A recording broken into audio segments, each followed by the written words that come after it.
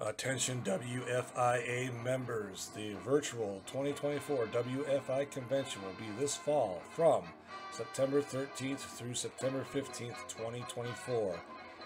Scheduled to appear are the world's strongest man, Ken Patera, the world's most dangerous announcer, Gary Michael Cappetta, Bill Apter, and just recently signed the High Flyers, Jumpin' Jim Brunzell and Greg Gagne. And folks, there's more coming on board. So run, don't walk to your keyboard. Get on that computer. Check the WFIA.org website and our Facebook page to see when these guys are going to be scheduled and their prices. Folks, if you are not a WFIA member, you will be paying an additional fee. So go to the WFIA.org today and register, become a member, and enjoy the podcast.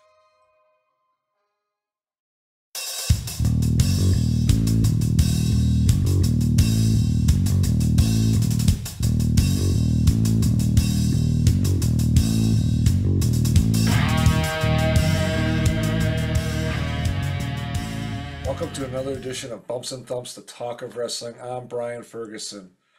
Folks, we're in for a real great treat today. We have the owner promoter of SICW, Mr. Herb Simmons. Herb, thank you for coming back on the show. It's so good to see you. Well, it's my pleasure. Um, anytime I can uh, uh, be with you and uh, talk uh, wrestling, uh, it, it, makes my night. I cleared my schedule tonight, and I said uh, I'm going to spend some time with Brian, and we're going to have some fun. Oh, I love it. Thank you so much. I appreciate it. I want to recap a little bit. It's been a little while since you're on here last, and you have been quite a busy, busy fella. And uh, you have coming up. You run SICW. You've got a great promotion there in uh, the Southern Illinois Championship Wrestling. How's that going for you?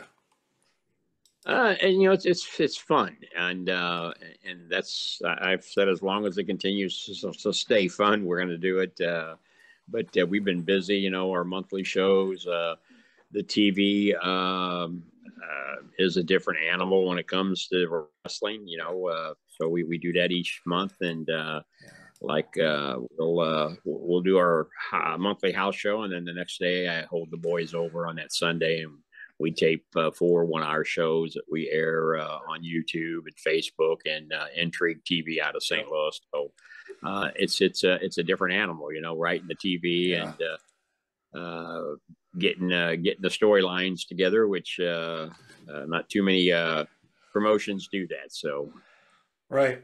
now, you, I mean, you've been doing this, I believe, for over fifty years, if I if I remember correctly. Right. Uh huh. Yeah. Fifty-one. Uh, this uh, this past February, uh, fifty-one years.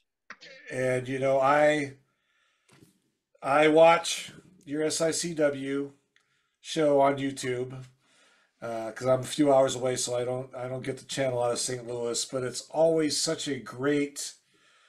It just brings me back to the days of you know. It's not the all the eye candy and the the, the uh, how do you say the fireworks and popping and all that. It is just down to earth, good old fashioned wrestling where you got the announcers, you've got uh, the guys doing the interviews and stuff, just like it used to be.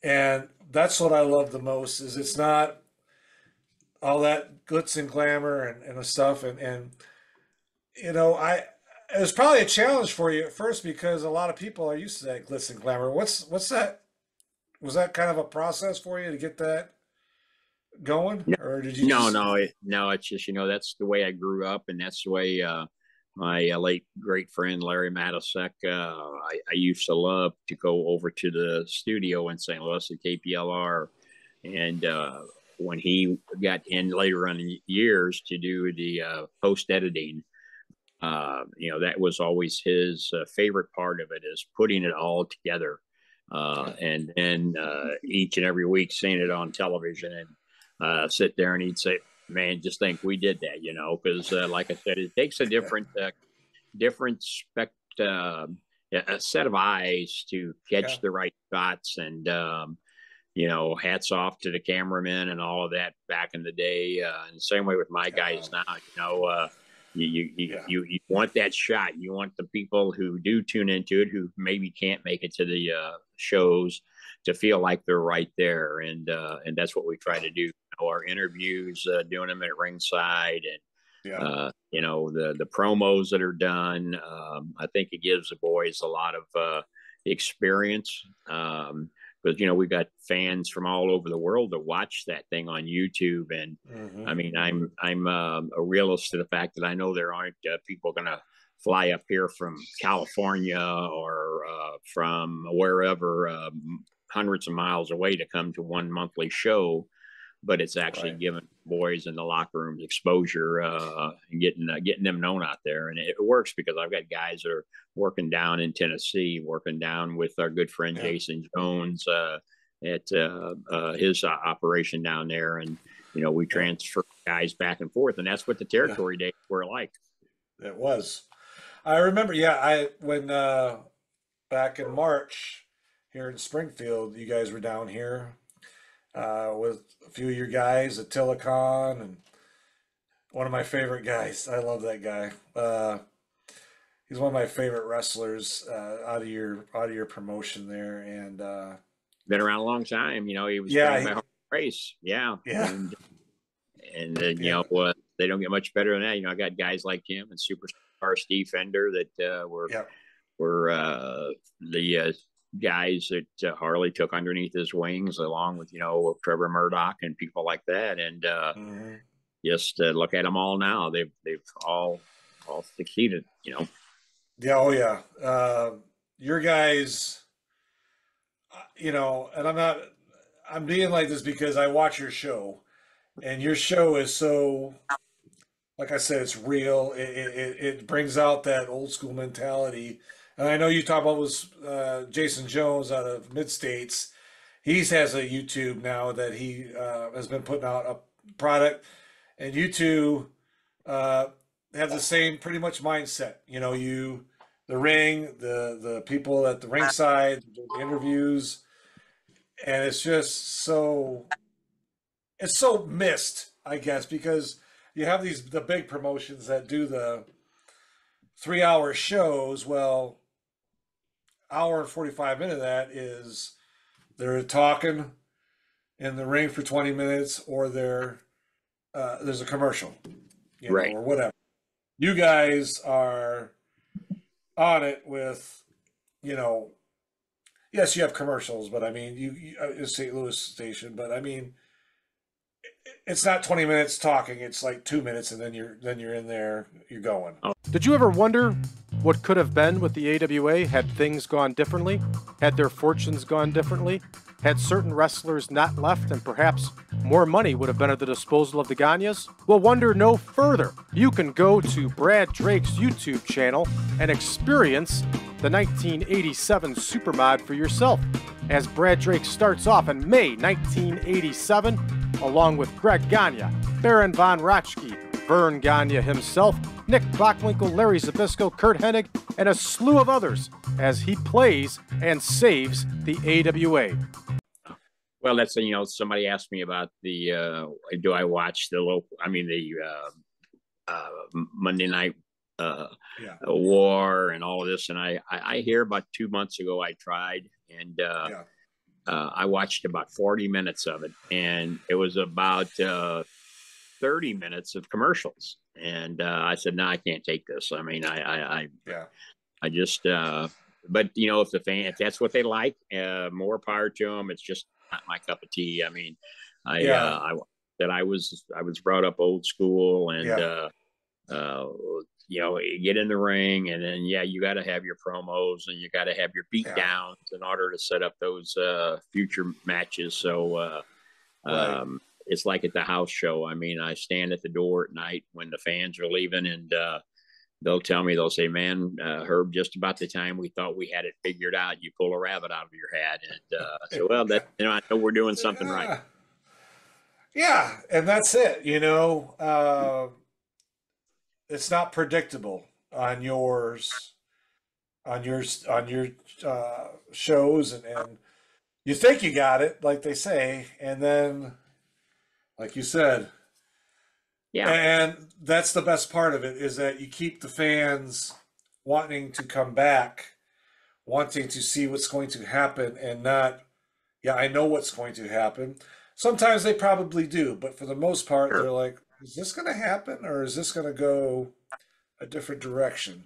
Well, and the- and then the other thing is the, the proof in the pudding is is when the fans start sending you messages saying, "Hey, why don't you think about this? Why not you know so and so needs to have this happen to them?" You know, they start trying to uh, put the matches together for you, and and you're thinking they are really into this, and and and that's what it's all about. You know, it's uh, yeah. it's when they come and and and and I go to very few other promotions uh, unless I'm invited. Um, and Right. I, I did that purposely because I, as soon as I show up at somebody's promotion right away, it's oh Herb's here trying to scout our talent and all that. Well, I don't have to scout talent. I mean, I, I get calls every week from around the globe of people Yeah. wanting to come to SICW. Uh, but Jason, if he, you know, if I go down to his, you know, he rolls out the red carpet. Of course, that's just the type of guy he is. And uh, Yeah, he is. uh, or down to Scotty Z's at New Breed. You know, I Mm-hmm. go there and when he asks, and uh, or you know, he'll come up to my shows, and uh, um, but but again, it, it's um, uh, when I when I go there, I, I'm looking at the fans, and Mm. uh, you can tell the diehard fans, and you can tell the ones that are just there. I say there's, I, I, I've always said there's two type of fans. There's the wrestling fans, and then there's the wrestlers fan. And Yeah. the wrestling fans are the ones that are there through thick and thin, and they can tell you every match. And and when they're leaving, they they remembered each and every move. And the wrestlers fan is the guy that's coming to see you and me fight because they're friends of one of ours. And if they happen to put us on first, well, we're probably leaving after that first match. You know, we go go grab a beer somewhere else. But uh, the wrestling fans is the one that uh, that I want because I want them there to buy into it uh, from top to bottom. Yeah. Yeah, and you know, I will tell you, like your promotion, Jason's, you know, mid states, new breed, they're full. They're always full. There, there's not 20 people there. There, it, it's a full house. It's Oh yeah, you know, I mean, I think Jason. hundred. Yeah, I think Yeah. Jason Springfield like 17 consecutive sellouts, and and that's not a small place, and uh, No, it just blew my mind, and uh, which is great. He he- that that just tells me he's got a good product, and uh, he he's does. got guys there, you know, guys like Gary Graham and people like that that go out there and bust their butts, and uh, uh, and of course, if you ask Stephen E, uh, he's the reason why all of them are there, you know. so, but what a guy he is. That, that, that's a story for another day, you know. yeah, Wants to buy SICW, he's going to rule the world, you know. So, yeah, Yeah. Stephen E. yeah, Yeah. Oh, well, I want to talk a little bit, if we could, Herb, your upcoming event here, uh, about three weeks. Uh, Don't remind me. Fan Fest 2, you know, the Bruiser Brody Memorial. I was at the one last year, the Fan Fest, the first one, and I thought last year you had outdone yourself. I mean, you had like the who's who, and then this year you've topped yourself even more. How you've done that, I don't know, but you have from what I've seen. And I got to ask you, uh, like, how do you get these people to to commit? Yeah, I'll be there, and I'll and I'll do because you've got. I'll just name. I'll name a few of them off. You got Dr. D. Dave Schultz. You've got Tito Santana. You've got Medusa. You've got Bill Apter. Uh, you know, there's. I think there's a probably about what over fifty of people going to be there. I know for sure. Stan Mhm. Hansen's coming back this year. The Lariat. well, uh, the think, High Flyers. Hello, everyone. This is Brian Ferguson, the host of Bumps and Thumps, the talk of wrestling. I want to tell you about a new podcast out called Falls Count Anywhere. It is a classic pro wrestling pro- podcast that brings you the legends of wrestling with true wrestling fans Chris DiCarlo and Charlie Turner. They bring on guests that are legends in this business, as well as wrestlers of today, promoters, referees, you name it. They have them on there, folks. And I encourage you to listen to them. If you're on YouTube, watch them. They drop every Saturday. They have their podcast. They drop it in the afternoon. So look forward to that podcast coming out. Falls Count Anywhere podcast with Chris DiCarlo and Charlie Turner. Folks, you will not be disappointed. I guarantee it. And enjoy the podcast. Yeah. Go ahead. Stan, Stan is probably not going to be there. He's uh he's Okay. not doing a lot of stuff away from home right now. Okay. Uh, yeah. So I mean, and and I hated that, but you know, I, I tell these guys, um, you know, uh, life is first, and uh, and Mhm. you know, uh, you you got to take care of that, and uh, exactly. Trying to stay as close to home as possible. And uh, but uh, but Stan's a great friend, and Yeah. but you you're right. We've got a we've got a um, a, a great collection again this year, and uh, Yeah. you know, uh, Sam Muchnick always said that if you're going to do something over, you got to do it at least as good as the first time, if not better. And so I think we've uh, we've topped that, and yes, uh, and it is a uh, it's a logistical nightmare. But that to, you know to answer your question, you know I I want to contribute that I guess to having uh, the friendship with a lot of these people over Yeah. the years. Uh, I think that uh, uh, when I say that uh, people like Sam uh, Muchnick and Larry Matysik and Bruiser Brody uh, introduced me to so many of the who's who in this business. And the one thing that, and I keep referring to Sam, but he was the guy that I sit underneath the learning tree. And uh, I've, I've taken everything that he taught Larry and I, and I've, I've comprehended that all these years. Uh, and one of the things was, is you, you know, you always treat the boys right and they'll treat you right. And Yeah. so when I call uh, a Jerry Brisco up or, you know, I call a Haku, uh, you know, it's not a question. They know that, uh, one, it's going to be a legit operations. Uh, Yeah. as you've heard stories, you know, in this business, there are people out there that want to be in the promotion business and they they they don't know how to get uh, uh, out of the batter's box. And uh, Yeah. I think after all of these years, I have shown that uh, through the thick and the thin, and the good and the bad, uh, that that I'm still there. And um, they they have a you know the one last year was the first one that's ever been done in St. Louis uh, to that magnitude, and uh, and you know the, uh, where you had 53 of the legends come in and uh Yeah.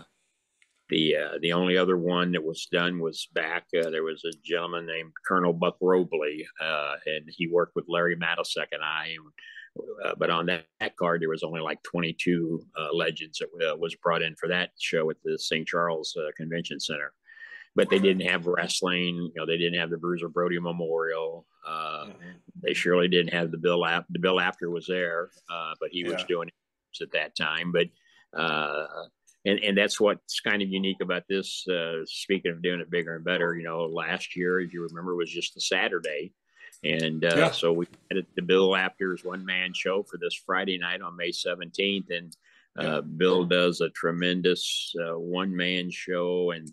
I, I like the way he puts it out there. It's not your typical uh, show or just sitting around talking. I mean, uh, he does he know he does his impressions and uh, Yeah. you know he'll do some trivia questions and uh, and the good thing is a lot of the boys will be in Friday and uh, a lot of them Yeah. will be that night. Uh, Yeah. We've we have made it clear that you have to have a ticket to get into that event because it's a room that seats. I think as of today, I think we're down to about 29 tickets left for that. But Okay. uh, but again, you know, there won't be any taking pictures of the the guys or girls because you know, you know, there are Right. certain fans that come and hang out at these places that don't want to buy a ticket and they want to catch the Yeah. guys. You know, they'll go out and hang out at the airport waiting for them sometimes. You know, and uh, Yeah. Yeah. Yeah. so, uh, so I mean, that's what Saturday's for. Saturday, I want Yeah. the guys. And this is kind of a VIP party. Uh, Friday night, I want the Bill to have a good, uh, good turnout, have a good show, and then uh, Yeah. everybody kind of hang around. And but I want the guys to kind of let their hairs down and uh, and Mhm. relax, and then get ready for Saturday. Yeah. I, I tell you, last year, you know, I got there Friday. You know, we talked about that before we came on. You, you were running around pretty, pretty busy, and then I met a lot of the uh, guys that came in. Uh, just super nice, you know, talking to you. Like some of those guys talk to me like I've known them for twenty years. Mhm. You know, uh, very uh, fan friendly, and you know and again, I wasn't like the some fans where they, you know, want a picture right away. They want to autograph this and that. That's for the next day. Right. And I and I and you know, I respect that and I totally understand that. So of course, I just intermingled with them and talked to them for a little bit, asked them how the, you know, this and that and stuff because I know the next day, you know, they're going to talk to you for a few minutes, but you know, there's a lot of Sure. people going to be there. You gotta you gotta roll through. So, uh, but I really enjoyed it last year. Uh, it was, I, I I can't even describe it. It was, I was just on cloud nine. I didn't want to leave. You know, I had to I had to leave uh, Saturday night. You know, because we had it was Mother's Day weekend, and I had to go back home. Which thank goodness I only live a few hours away.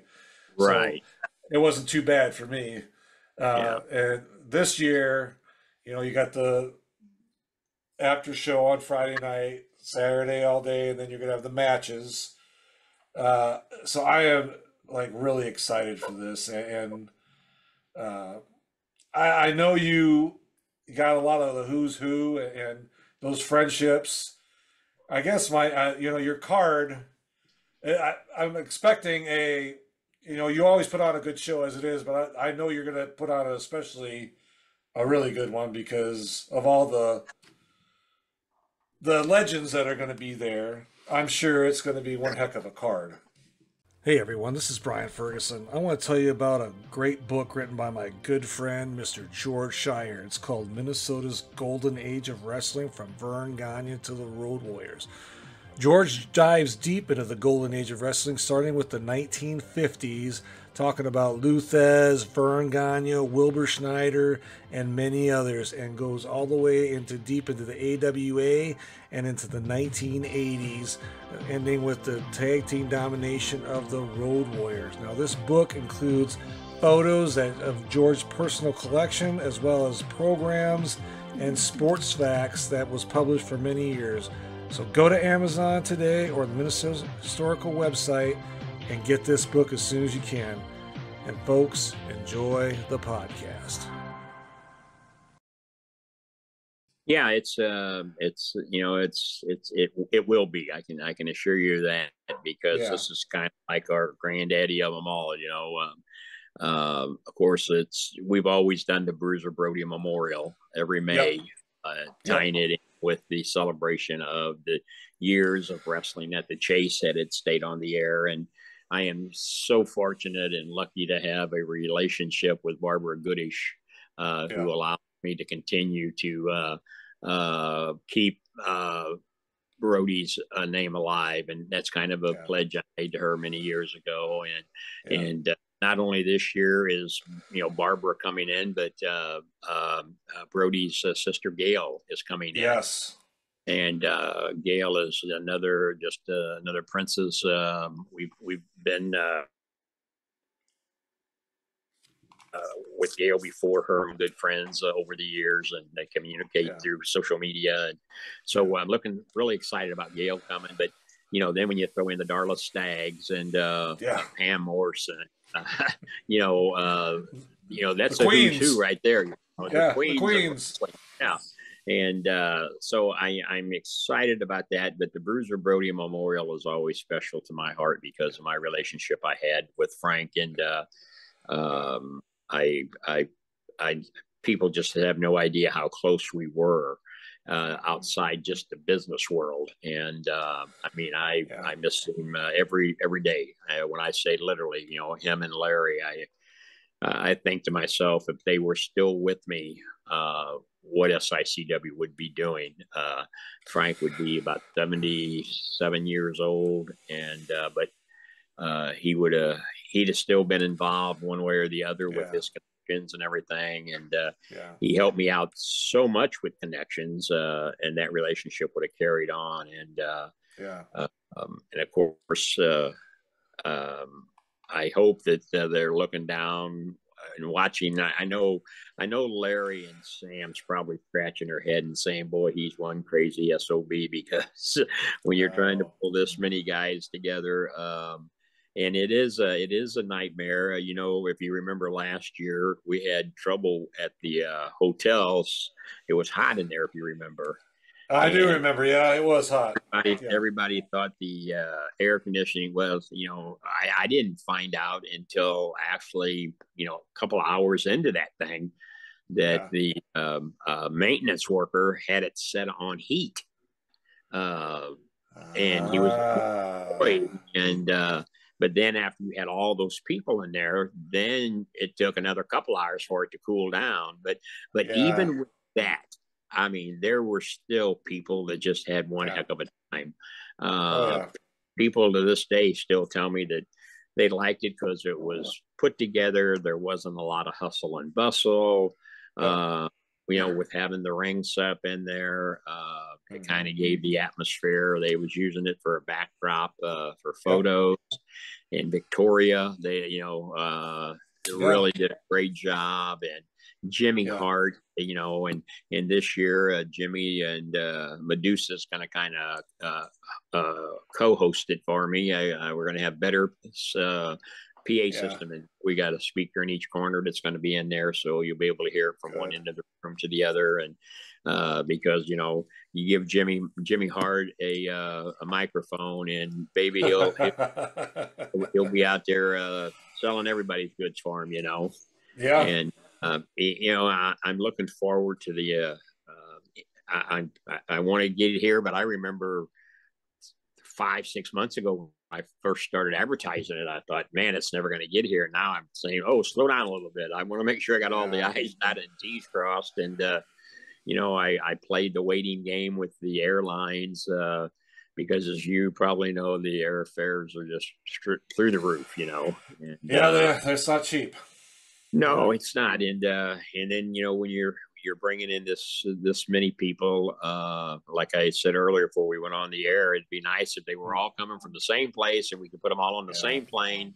But that's not Yeah. Going to happen. And then and then Yeah. people say, okay, well, okay, you can get them there, but they don't understand. Come Sunday morning, they start leaving out at six a.m. in the morning, so. Uh, there will be no rest for my uh, son-in-law and I, uh, or I call him my Uber driver. There you go. yeah, we'll. Uh, but you know, uh, you, you got to get him there and get him back out of town. yeah. And uh, I, I hopefully the you know, uh, as I said earlier, you know, the phones, uh, people are texting me and saying, "Hey, we're coming." Uh, Yeah. or we want to get our tickets, and I tell them, "Well, you you you know, you need to get your tickets early, buy them online because that kind Yeah. of speeds the process of the day. You don't have to kind of wait in line." Uh, because you know if, if you bought them in advance, we'll have your packet made with your armbands and uh, Yep. Just like uh, last year. Yeah. yeah, just like last year. I think we've got.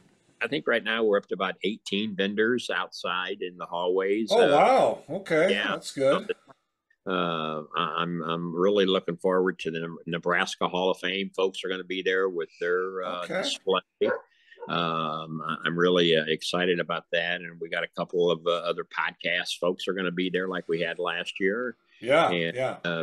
you know, uh, people selling their goods, and uh, uh, I, I think it's it, I think it's going to be uh, really good. I'm excited about the whole uh, Bill Apter uh, Friday night. That that show will start about seven o'clock, and Yeah. uh, that's about a 90 minute show. But then that'll give folks time to kind of afterwards kind of unwind and have Yeah. a, uh cocktails if they want right there. Uh, yeah. Yeah. and then get ready for Saturday, and then we'll open up uh, bright and early. Uh, I mean, it's scheduled to open up at ten, but I'm the type Right. of guy. If everybody's there, everybody's ready. I'm opening the doors and, and get them Yeah. in there and let Yeah. them let start looking around. Uh, Well, I was gonna say last year you had a line. I remember because I came down about I don't know probably nine fifteen or so, uh, and there was already a line forming down the down the the hallway there uh, from the desk, and uh, but you know it was. I will say this: it was a great. You put on a great uh, fan fest last year. I thought it was top notch, and I know there was some glitches, but I mean it wasn't, you know, anything noticeable really that Yeah. you know a fan would would complain about because if they did, then they're just complaining to complain. I thought overall it was a fantastic event. Uh, all the all the legends and all the vendors were uh, courteous and professional, and and it was it went off to me. It went off like it should have, and I know this year it'll probably be better. Uh, you got so much talent. Uh, some of these people, I mean, I haven't seen in my gosh, probably 30 years. Like you got Wendi Richter, Mhm. and I know she doesn't do a lot of stuff, so I know you got to be good friends with her because she does not do a lot of of uh, shows and stuff. She just she just Yeah. doesn't. Yeah, and she, you know, she'll be good, and you know, she's one of the uh, inductees into the St. Louis Wrestling Hall Yeah. of Fame. That's right. Yeah. Uh, so um, uh, I- I'm really excited about that. I think uh, um, uh, Cowboy Bob Orton Jr. and I mean uh, uh, the Yeah. entire Orton family are, is going to be there for that induction. Uh, be awesome. just kind of read through that subliminal message there. The entire I gotcha. Orton will be I there, understand. and uh, understand. it, it, uh, it, that, that's going to be great in itself right there. Yeah. Uh, so uh, for those, and I know you get a lot of listeners, uh, but you know, Yes. you hear uh, Leilani Kai, uh, Judy Martin Yeah. uh, yes.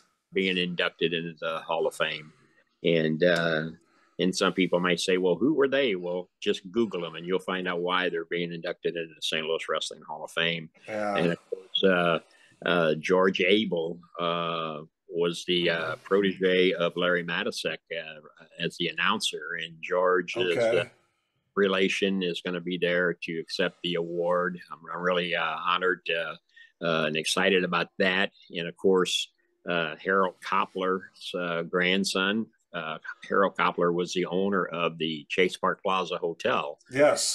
the gentleman that made the uh, arrangement with Sam Muchnick uh, to have wrestling at the Chase uh, on uh, Channel 11 back in 1959.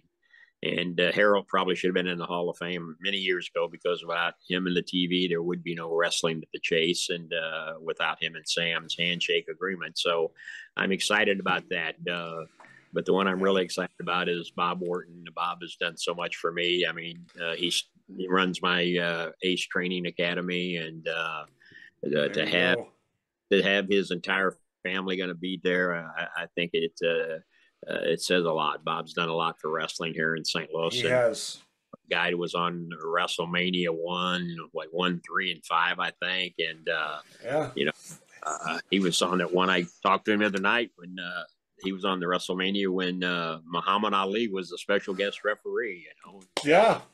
we Yeah. kind of talked about that, and it brought jiggled some memories for Bob, and uh, he got a kick out of that. You know, so but yeah, Yeah. it's going to be exciting, and then of course.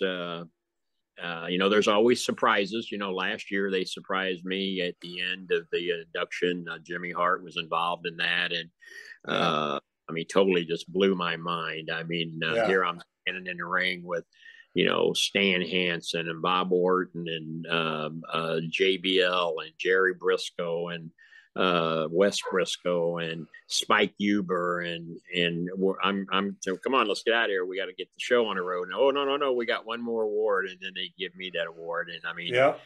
I'll be honest with you, it uh, it it was an emotional moment to be standing in there and then take a picture with all of those guys. Uh, Yeah. um, it just uh, solidifies, and you got them all whispering in your ear, you know, oh, Larry'd be proud of you, and Sam's looking down on us, you know, and Yeah. so uh, you know, St. Louis was such a great place, and uh, yeah. and, and, and you know, I had people say, well, you know, why don't you find a hotel over here in Illinois uh, where you hold it at? And uh, and I, you know, St. Louis kind of signifies the wrestling at the Chase. Uh, Yeah. I'd love to have it at the uh, Chase Park Plaza Hotel, but uh, again, it's it's a very expensive uh, uh, deal there. I was fortunate this last year to do that show there on a Sunday afternoon with the grandson Yeah. of the Koplar family, and what Yeah. a I'll never forget that. That I mean, you talk about putting icing on the cake after all these years to say that I was able to go in there in that same room, the Khorassan room, where you know uh, the Bruiser, Lou Thesz, and uh, people like that uh, started at, and uh, and Yeah. here's a little SICW in there uh, putting on a show on a Sunday afternoon. That was the icing on the cake. Yes. Yeah. I tell you, it is so great to talk to you and, and your history, you know, with Sam Muchnick and, and Larry Matysik and, and Bruiser and so many others that, you know, you have a relationship with. Um, uh, I just can't even Yeah. imagine. Well, like you said, we got guys like you know one man gang uh, who Yeah. hasn't done a lot. You know, he's George is going to be there with us, and uh, you know he's been in for me before, and uh, another another great individual that when I've called him and his lovely wife, uh, I, I- just uh, I, I they're, they're I get her on the phone, I, I can talk all evening with her, you know, and yeah. but you know, and, and then the, the the regular guys that come in for me all the time, Haku, you know, uh, great guy to be around, you know, and uh, you know, nice Jimmy guy. Valiant, Jimmy Valiant, the boogie woogie man. I mean, uh, I don't know if you've ever been around him, but boy, oh boy, you're you're in for a treat. I haven't been around him personally. I've seen him on TV uh, quite a few years ago, Yeah. but yeah, I've, Yeah. I've heard he's he's pretty pretty crazy, you pretty talk about a guy. guy that you know, you talk about the guy that'll take time with you, you know, and then Dan to Yeah. be separate. Uh, you know, people like that, Yeah. the Godfather. Uh, Yeah. You know, I, you know, I, I, I appreciate the other vendors that help bring in a couple of these people, you know, like GT Collectibles and Scott Wilder's promotion. Uh, Yeah, I mean, they, they literally last May at the uh, end of that fan fest, uh, both of them come up to me and said, Hey, if you do another one, we're back in. And, uh, deal. and that's the kind of relationships you want to build in this business with credible people like that, you know. Um, you know, to to help out, you know, Koko B. Ware. I mean, he's coming Yep. in. Uh, so. I mean, yeah, you know, tugboats coming back. Everybody had fun uh, with the with the Shockmaster, you know. So uh, yeah, yeah, and uh, the one guy, I'm, uh, you know, Doctor D. David Schultz. You know, uh, I'm sure Yeah, people yeah. talk, talking about the slap heard around the world. You know, the only Yeah. person I can assure you who will not be there will be John Stossel. yeah, I invited him, but when he found out Doctor D was going to be there, he declined. yeah. So- yeah, but uh, lover boy Dennis Condrey, you know, he's he's Yeah. going to be there. Uh, yeah. So I'm, I'm, you know, Rock Riddle, uh, people like that that uh, have made an impact, you know. And then Greg Gagne and Jumping Jim Brunzell. Uh, Yes. there's a photo op right there, you know. So Yeah. uh, any of yeah. Ted- Teddy Long and Mac Davis, you know, uh, you know Great what, guys. what great guys. I mean, uh, yeah. I just uh, love them. You know, I had Tim Storm book, but uh, my good friend Billy Corgan decided he was going to book the Crockett Cup on the same night down in uh, Texas. So Tim Storm got pulled. He, he had to go there. but Uh, okay. Tim was looking forward to it. But, you know, James Beard, uh, one of the Yeah. greatest referees of all time. Uh, Third man. going to be there. oh, I'll tell you, you know, Harvey, uh, uh, downtown Bruno uh, is going to be there. Uh, yeah. Paul Paul Roma. I mean, uh, you know, uh, what a guy, you know, and Yeah. Mario Cini will be there with us. And I don't know if you remember little Cato or not. Uh, I do remember, yeah. Yeah. a little Cato, uh, I- just talked to him again last week. He's he's excited. He doesn't do a lot of appearances, but uh, uh, he knew that his dad and I, his dad was uh, Roger Littlebrook, uh, and he knew that I did a lot of work with them guys. And when Cato first started out, he was uh, doing the little gimmick of uh, uh, the Karate Kid, and uh, Right, that's yeah, that's right, yeah.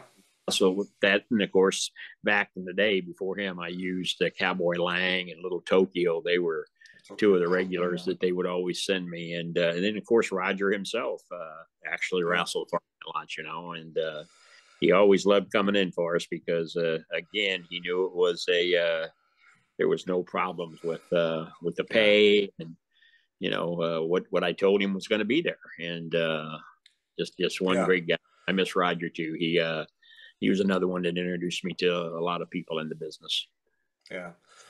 No, I uh, I can't say enough about what you do. Um, you do such a great job with your your organization and the fan fest and, and giving the fans what they want. You know, uh, and you don't I can't explain it, I guess, but you just are such a and you're such a good person too, Herb. You really are. Appreciate And, that. You know, you are. I mean, every time I've talked to you in person, you know, we always have great conversations, and and you know, I just love the way you're you're doing things and have done things for so many years, and your influences. well, I always said Sam Muchnick, Larry Matysik, and and you know Bruiser Brody, and uh, you know Barbara Goodish, uh, such a sweet lady, fantastic lady uh, had opportunity to meet her, uh, you know, a few years ago at the CAC, and then again at your reunion last year, and then being here again this year, and you know your involvement with CAC Cauliflower Alley Club. Great organization. yeah, and you're so involved in it, and you have other things on your plate too that you know it's just amazing that you do all of it. And know, I know you don't get thanked enough, but I want to thank you for all you do because you do a lot, and you don't probably get enough credit for what you do. So I want to say thank you very much for all you do, Herb. Well- hey everyone, this is Brian Ferguson. Fans of the AWA, you are in for a real treat. My friend Joyce Poston has just released her book titled My Ringside Seat to the AWA. Joyce writes about her personal experiences with wrestlers such as Nick Bockwinkel, Lord Alfred Hayes, Baron Von Raschke, and others. Joyce also has published many photos from her collection that you will not see anywhere else. Order today by email at joyce.postion at gmail.com. Payment is through PayPal. The book is only $20 plus $6 shipping and handling. International orders, please email Joyce for shipping charge. Folks, run, don't walk to your keyboard, and order today. And enjoy the podcast. Well, I appreciate that, and I, want- you know, I, and that that's a two way street because I, I tell people like you who are sincere about what you do, you have a passion just like we all do. You know, one of the Mhm. questions that I always get a- get asked, and I'm sure you've probably been guilty of when you have a guest on. Well, how do you get into wrestling? How did you get into it? Well, I got into it as a fan. You know, just Yep. as we still are. I am still a fan to this day, and uh, I don't watch the new stuff. And Right. again, like I said, I want to make it clear. I had the man, the the men and women that are out there busting their tail every day. My hats off to them.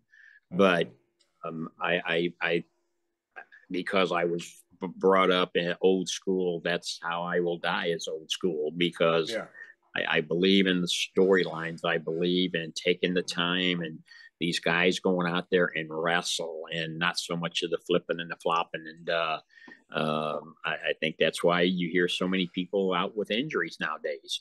Um, Yeah. You know, back in the day, and of course, when I bring that up, to, they say, "Oh, well, yeah, but you know, uh, the guys back in the day weren't doing what they're doing." No, but the back guys back in the day were working 300 days a year, 350 days a year, yeah, traveling in their cars uh, from room hotel room, or some of them sleeping in their cars because they get through with the show and they put three or four guys in a car and have to drive 300 miles to get to the next show. Uh, If you don't think that didn't take a tear on your body, you know, eating cans of tuna and uh, sardines and all that stuff, Yeah. you know. Uh, Yeah. So, so uh, I don't want to hear about it. Wasn't that bad back in the day? It was tough. And plus, guess what? They weren't making the money that you're making these days. Right. that's very true. yeah. And- And, and- so, ahead, yeah, it's uh, one of the names that I forgot I wanted to throw out there because uh, Mm-hmm. a lot of people have asked me, "You, "How did you get him?" And it's Abdullah the Butcher. Um, Larry you know, Shrev, yeah, Shrev, yeah. Yeah. very, uh, you know, him and Brody, uh, one of the Oh, biggest yeah. feuds ever and will remain one of the you know I, I always refer to that feud between them to like the freebirds and the von erichs um, yes. you know it's it's it just people will talk about those feuds forever you know Yeah. uh, and uh and brody and uh uh, uh, Abby had some great matches for me, and of Did course, people would say, "Well, yeah, you know, but if you saw one, you saw them all." Well, that may be true, but I guarantee you, the, the crowd, the crowd that was watching them uh, each and every time that I had them in town or wherever I would have them at, they always Yeah. went home happy, and uh, and that was my thing with uh, Brody. Uh, you know, I can hear him now. What do you want, big boy? What do you want tonight? And I'd always say, send him home happy. And uh, boy, Yeah, he- yeah. he never disappointed.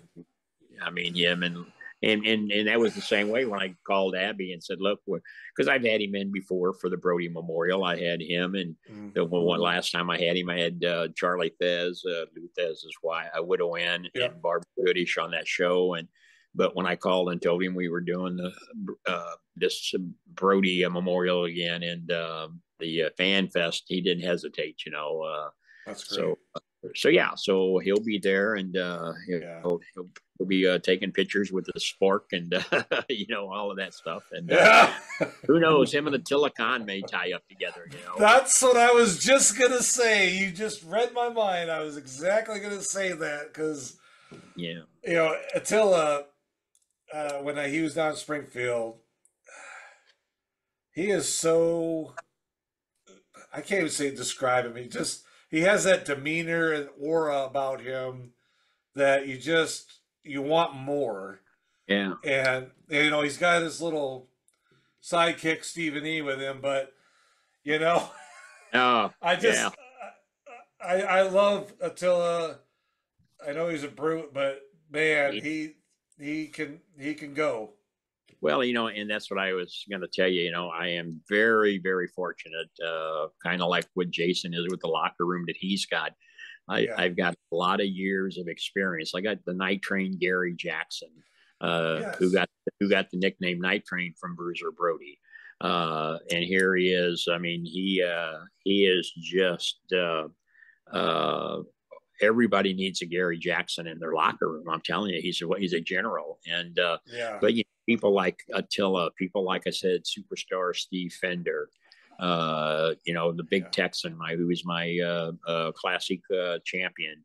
Uh, Yeah. You know, Bob, yeah, Bob Bobby D. Uh, you know, he's got a great amateur background wrestling, but he can get out there and brawl with the best of them. And uh. I mean, one of the bloodiest brawls uh, uh, that I, I, man, it was it was actually terrible. Was you know him and Attila Khan, and uh, but uh, you know the guys get out there and they give the fans what they want to see, and uh, um, and I think that's why when they talk about SICW sets the bar, sets the standard uh, of what old school wrestling used to be about. Um, I think that's why you know it, it's kind of full circle. You know the, where we run our monthly show at now at the Belle-Clair Fairgrounds. You know that's back Yeah. where I ran in the late '70s. That's where I first brought Bruiser Brody and Jerry Blackwell and Dick Murdoch and Tojo Yamamoto and Gypsy Joe and Frank Morel the Angel, people like that. Uh, and to think here we are, we're back there running at the same fairgrounds, uh, bringing in just uh, generations of uh, other families that uh, their parents used to come and watch us there. And Yeah. uh, I mean, I've got a family that comes, uh, the, the Bullion family, uh, that's their family for years, for 40 years has followed us. And they're still coming. They're still, uh, you know, they'll have anywhere from 10 to 12 seats every month at that show Wow. and uh and you know people like Dolores and Kenny uh I mean an older couple that started coming to our little community center in East Carondelet and just fell in love with the hey this is old school this is what we remembered they still come and now they're bringing 10 12 people with them every month you know and There you go. Yeah. Uh, and and and those are the people that you know uh, that really truly enjoy it and then they watch the sunday night show and keep up with the episodes and then they come to the tv tapings and because what they get to see at the tv tapings is how it's basically all put together you know uh, Mhm. and plus if you come to that show on saturday night you get to come to the tv tapings for free and uh, oh, so there you go. Yeah. so day you get you get to see four shows taped and uh you know uh so it's about a three three three and a half hour uh, Sunday afternoon because you know by the time you get it all put together and not counting the commercial times you put in, but uh, Yeah. But then people love seeing herself on TV, you know. So uh, Yeah. um, the only thing we uh, we don't do is like they used to do at wrestling at the chase. They used to do that uh, one camera shoot, and then they only shot three sides of the the ring, and uh, between each episode, you would rotate from this side of the ring to the other side of the ring, and uh, Yeah. of course, Larry and Mickey Garagiola would wear. Uh, they'd have three different wardrobe tra- changes, uh, different sports coats, and uh, to make it look like they had a different. Uh, uh, they did have a different set on every, every week, so right. we're sitting there in the same sports coat or suit coat week after week, you know. But uh, we don't we don't go that Yeah. far. But the action takes you back. Um, You know, it, it's just uh, it's it's classic the way it's done. I I've had people that's been in the business for a long, long time to watch our show and call me and Mhm. said, and I asked them, critique me, critique what we we we ain't got no place to start, you know, uh, because you're when yeah, you don't have the the uh, uh, million dollar lights and uh, Yeah. all the multi cameras that you know we do a two camera shoot and uh, they said but man to tell the story that you're telling that's all you need you know Yeah. and uh, you know it's in a little little uh, studio studio setup and uh, uh, the guys are having fun they show up and we have our pre-tv meeting and uh, they're all talking about what happened the night before at the show and uh, yeah. it's a lot, of lot of camaraderie, and that's what I said. I, I mean, I think we one night we added up. I mean, a couple of hundred hours, a, a years of experience we've got in our locker room, you know. Wow. And then and then when Jason Yeah. Jones comes up, or he sends up, you know, his guys. Uh, I mean, it's it's it's it's an exposure for them, uh, Yeah. and. Uh, and I, I'm happy to call Jason a friend. He's been a friend a long, long time, and uh, yeah. uh, I wish he, uh, uh, we're trying to get our dates together to where we can even exchange different boys more, but you know, you got to do what you do, you know? So, but I think what him and I have shown and uh, a couple of the other promotions that I work with that if promotions really want to, if they can really put their egos aside, Yeah. you can make it better for, if, if we make it better for the business, we make it better for the Mhm. fans, then, Mhm. then everybody benefits from it you know oh, um, yeah. we're far enough away to where you can run the same storyline or at least the storylines can uh, help one another Right. Right. um, i mean can't you see a match between jason jones and attila khan I can. It'd be. would that not be a great match Yeah, that would. I tell you, I was so. When I first saw that was what a year about a year ago when you guys started kind of Oh, me? merging together. Oh, when I saw that when I went into Springfield and I saw you and I saw some of your guys, I was like, yes, finally, somebody. The light bulb went off and somebody, and they said, "Let's bring our talent together." I was so excited, and I was. I mean, it was a great card, and the last card you all did together here in Springfield was was another great card. And Yeah, well, and that's what I like about Jason and uh, a couple of these other promoters I work with. You know, they'll call me and say, "Hey, what are you doing with so and so?" And and I'll tell them. They'll say, "Okay, we'd like to get them down here. We want to make sure we don't disrupt anything." And uh, and that's how it's done. That's how territorial wrestling was done back in the day. But Right. but like I said, uh, you know, the, one of the other questions that I get asked all the time is, you know, uh, what, why is wrestling changed so much? And I tell them, you know, guys, wrestling has not changed. A headlock is still a headlock. A wrist lock is still a wrist lock. A takedown is still a takedown. What has changed in this business is a three-letter word called ego. And uh, guys have to check Yeah. their ego at the locker room door. Uh, they have to understand it's a business. It's nothing personal.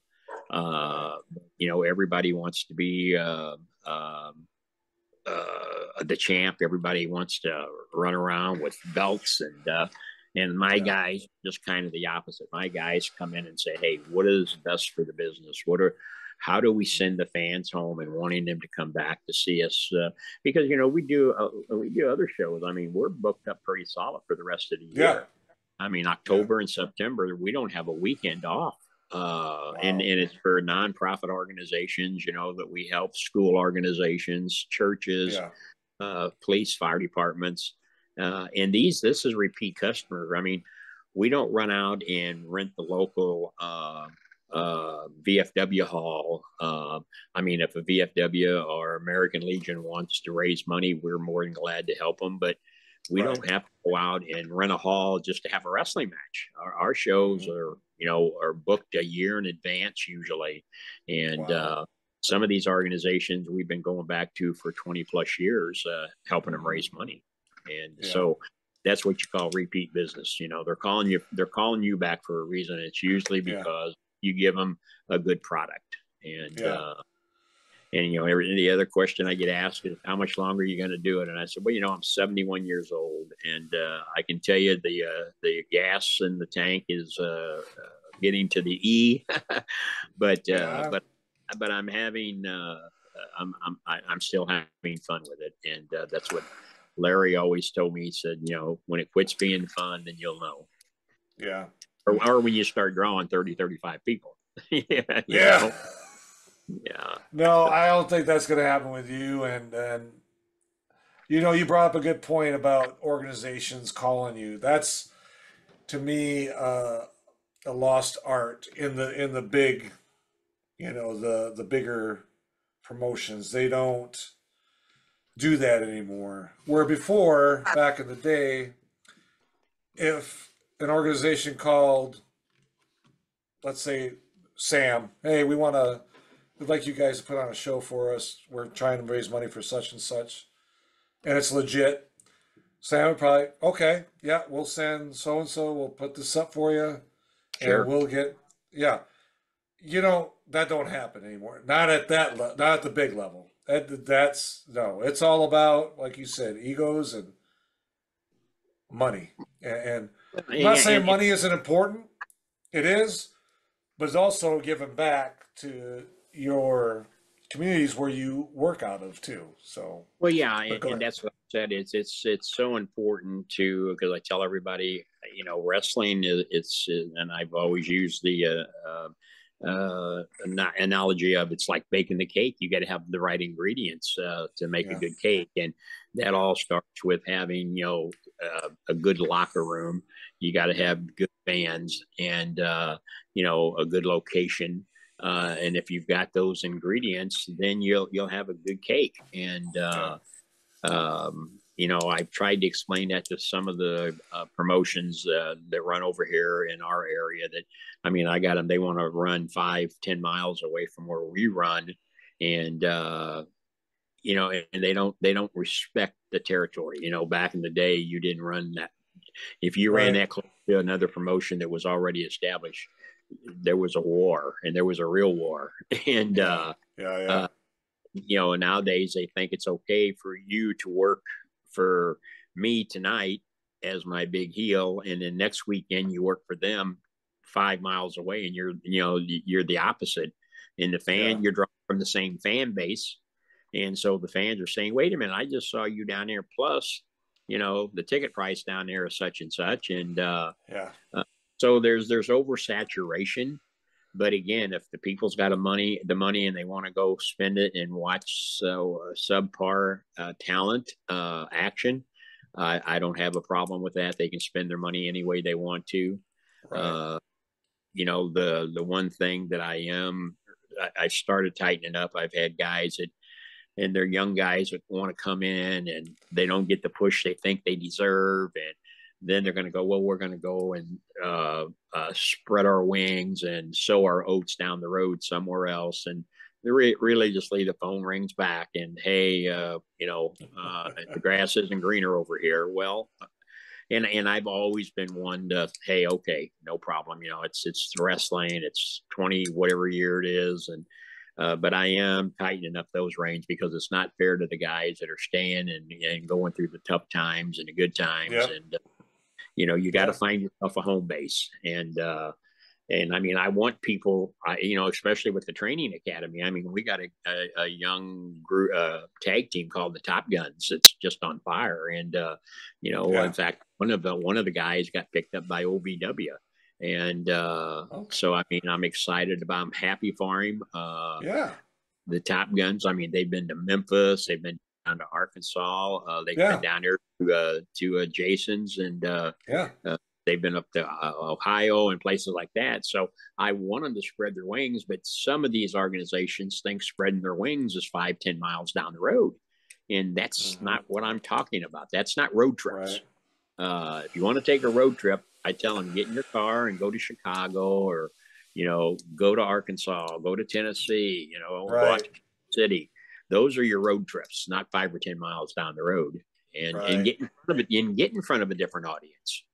And then you'll find out just how good you really are. You know, right Yeah. now you're in your own zone and your comfort. And uh when you Right. got to go out there and get in front of a different crowd, uh, you gotta you gotta perform a lot uh, differently, and uh, Yeah. and that's what the Top Guns have done. I mean, Brandon Beretta and Joey Benetti, uh, they they're getting a taste of that. And like I said, Brandon got up by OVW, and I'm I am really excited for that uh, because you know, one, he's a very respectful individual. He's never going to forget where he come from. He he respects Bob Orton and the trainers that was there that helped him uh, learn. I mean, uh, I told him, I said, you you need to take that picture when he first started and hang it up in the gym and take a picture of him now and show the new classes, hey, this is what he looked like when he come in here. This is what he is now. And that's Yeah. because of hard work. And uh, Yeah. so it's a little inspiration for him, you know. And Wow. now he, he shows up down at the gym and works out with some of the new people, you know. And uh, he's only been in it a couple years, but uh, Bob and the trainers had so much confidence in him that uh, he can get in there and show them how to not have to worry about getting those bumps and bruises, you know, if you do it. Yeah. Right. well, because I don't know, uh, but I get a kick out of Bob when I stop in down there on a Tuesday or Thursday night, and he's there, and he'd take them glasses off and that hat, climb up in that ring. I'm thinking, oh boy, yeah. yeah. Go to school. Yeah, but he, Yeah. he's, he's, you know, they're training him the right way, and uh, Yeah. um, we've got a uh, we've got a young lady down there, Brian, and I'm going to tell you, uh, it takes a lot to impress me Yeah. but this young lady, uh, I'm, I'm going to sign her to a contract because I don't want nobody to get their Oh. hands on her. She is, Wow. she's going to be awesome. I'm telling you. Uh, Well, that's good to hear. uh, yeah, she, uh, she is going to uh, set, set it on fire. Uh, she's got everything. She's got all the ingredients. She's, she's got the, uh, she was a little bashful on her interviews at first, but now, uh, I, I pulled her aside and I said, you know, this is my plans for you. This is what I need you to do. This is how I need you to act. And and so Mhm. part of their homework is they have to do a promo uh, every week and post it up on our workers page. And uh, Okay. and you can, you can just see week after week the fire is there. Um, Yeah. And I mean, she's a, she. I think she's six foot, six foot three, six foot four. Oh wow. Oh my god! I mean, she's uh, yeah, she's gonna be uh, she's gonna be a barn burner, as they say, and uh, as long as she and uh, agile and uh, got the big boots she can deliver, and uh, she's uh, she's gonna be uh, she's gonna be uh, something something to watch. Well, I I'm predict- I predict that if the good Lord's willing and the creek don't rise, that she's going to be on the main stage uh, in the future. Wow, coming from you, that says a lot, Herb, because Yeah, like you said, it takes a lot to, especially when they're just getting in. I mean, that, Yeah. that says Yeah. a lot. yeah, that says a lot. I think she's a, you know, she never misses training, and I mean, Good. she comes ready to go, and uh, she's only been training probably seven, eight months now, and uh, the stuff that they've pushed her through, and you know, the getting her cardio going, and uh, uh, Yeah. you know, she's she's not bashful about getting in there and, and doing it all, and uh, uh, the timidness that she had at first, like anybody else. Uh, Yeah. That's all out the door now. She's one of the boys. I'm telling you. you want to fight? Come on, it's on. so That's Yeah. Great. gonna be great. I'm excited about that. Yeah. Yeah. Yeah. Oh, well, I want to thank you for coming on here and and talking with me about all the stuff that's going on with you, this fan fest. I'm going to have all that information, folks, on uh, the, in the description of this podcast. Get your if you haven't got a ticket for this fan fest, it's uh, what is it? I think it's forty dollars for the fan fest and, and twenty five, but you can get the deal for sixty for the whole thing. Am I correct? Yeah, yeah, it's a bundle. You can go on uh, sicw.org and get it right off packages out. Yeah, yeah, it's very reasonable, and and, and that's the Yeah. other. A lot of people says, Herb, you got to raise the price, you know. And uh, no, I I, I know my uh, fan base, and uh, You do. I, I yeah, I may be able to raise it more, and people would pay it, but then they don't have the money to come in and buy the goods from the boys Exactly. and, and that's you know I and without the boys being there, you don't have no fan fest. And uh, Right. I want everybody to to come and Yeah. be able to spend their money wisely. And Yeah. you know if, if they can if they can get ten autographs from people, uh, you know, or whatever it may be, uh, Yeah. I'm happy for. And that was one of the things last week. I had people coming up show me, man, I was able to get this, this, and this. Man, I didn't hardly spend anything, you know. Yeah. So uh, I, I give the boys um, a lot of credit for that. They they keep their Yeah. prices pretty reasonable, Yeah. and uh, Oh, and and everybody everybody was took time and talked with the fans, and and I think that's what uh, one of the the biggest compliments I got was is nobody was in a hurry. Everybody just kind of hey, you know. Uh, yeah. Take our time, but uh, we'll be a little bit tighter because of the uh, uh, the six people being inducted and then a couple of Right. surprises. Uh, I, I think we got to uh, make room for that, and uh, Yeah. just everybody remember come and see. Uh, if you don't come for anything else, come for the St. Louis Wrestling Hall of Fame induction to see Cowboy Bob Orton get inducted because his entire family will be there uh, watching. That's a hint, folks. That's a big hint. Yeah. So, all right, ladies and gentlemen, SICW owner, promoter, legend, Mr. floor Herb sweeper, Simmons. floor sweeper, trash can empty here. Thank you so much, sir, for coming on. Brian, I it, really Brian, it was my pleasure, my honor. Anytime I can come on, uh, I, I appreciate it. You do a great job keeping the word Thank out you. there, and um, I, I I know I'll see you uh, on will. um, 17th and 18th, and uh, yeah, uh, be back there. down in Springfield when Jason's down here next time. You'll see me there. I'm I'm looking forward to it. And folks, get your tickets. Go to sicw.org, get your tickets. And Herb, one more time, thank you for coming on. Appreciate it. Folks, if you're watching, thank you. If you're listening, thank you. If you haven't subscribed, please do so, and we will talk to you soon.